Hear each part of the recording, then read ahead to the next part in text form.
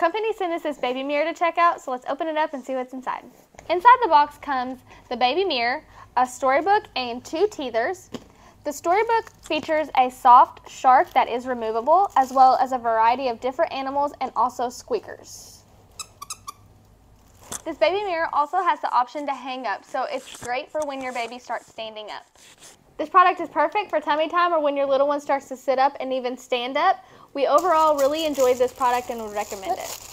It's.